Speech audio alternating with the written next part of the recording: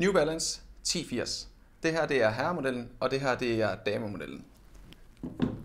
1080'eren er rigtig, rigtig god til lang distance. Øh, så alt fra 5 km og op til maratonløb.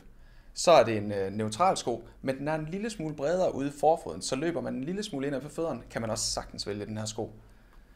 Den har 8 mm drop, og det vil sige, forskellen på hælen og forfoden er 8 mm.